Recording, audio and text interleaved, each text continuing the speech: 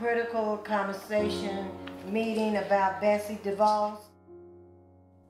My name is Irene Robinson. I'm a grandmom uh, of 18 grandchildren and a mother of six. I have been in Chicago all my life. I lived here all my life.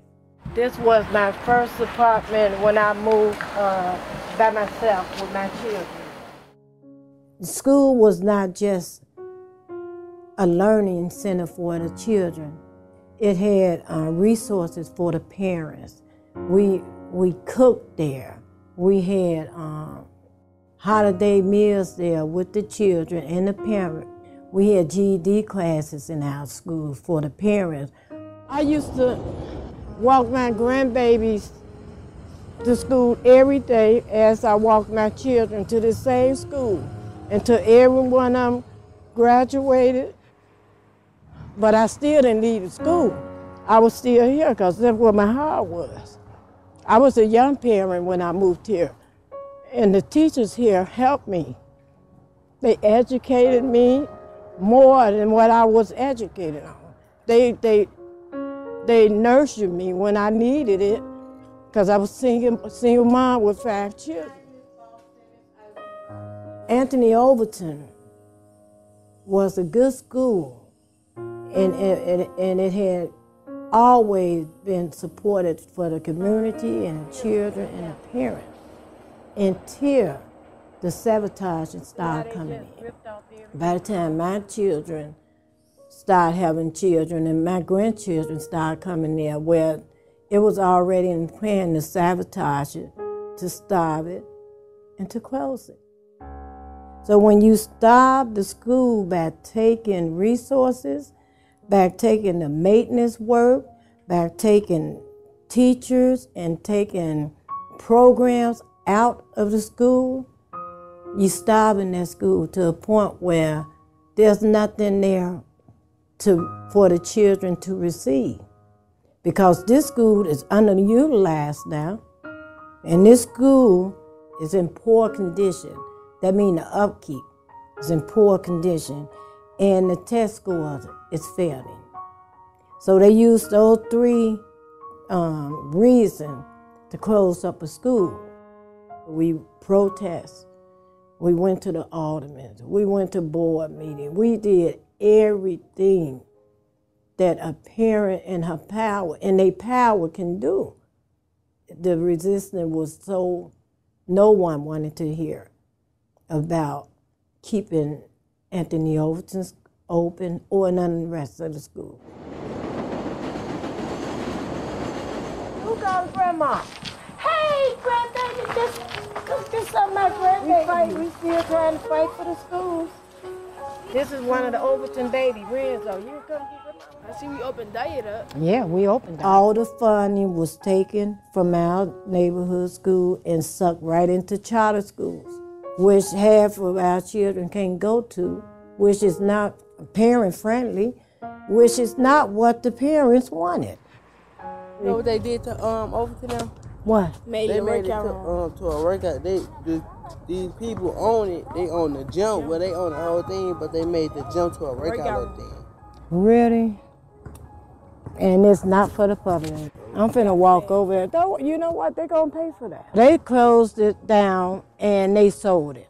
Oh, they sold it. They sold it. When they closed Anthony Overton and put um, half of the children in Mollison and half in Burke, they sold it. So we that that don't mean that we lost. That means we're gonna get a bigger and better school, right? Right. And we're gonna design it even better. I know right now it's looking like we ain't gonna win, but we're gonna win. We gonna get those schools back. school back. That's right, my king. You know it too, right? As long as grandmama got breath in her, I'm gonna continue to fight, and people gonna come, and more people's gonna come, and the more come, guess what's gonna happen? We're gonna get what we got, what was stolen from us. Okay? I love y'all. I have to go. Give me her. I love you. There's a silent, well, I won't say silent, invisible way that they use hate crimes. When they say privatizing, when they say closing schools. They, they use it as we're going to close to improve. But no, you're not.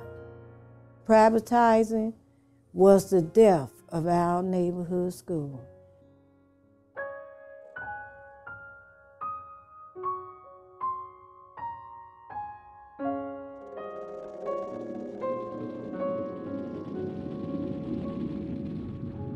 The pain is still, but I know I can't stop because I have to fight.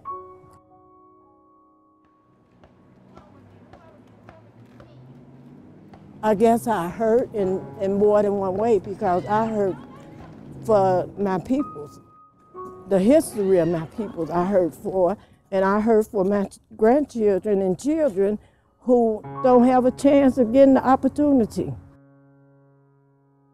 It feels like a, as a parent, we supposed to protect our children. My little, my grandbaby Mikey. After all that was over, he looked at me one day and he told me he had got so upset. He told me, "You lied to me, grandmama. You told me that we was going to get our school back, and I hate going to Mollison." Do you know how that made me feel? Because I couldn't, I couldn't protect them.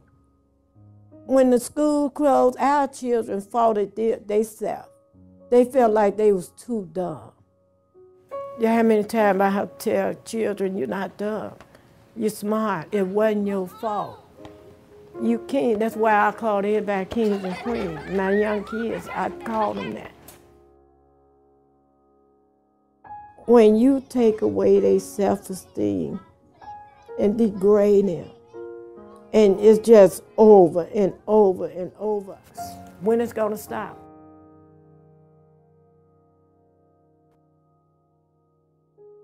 When they close in the school, what they really saying is, we don't want your child to have an education. We don't want you in the community. And we can take these schools. And nothing you can do about it. That's what they're really saying. Do we care if your child is going to be in danger? No. Only thing we care about is making money, even if it's off the back of your children. And this country is responsible for that.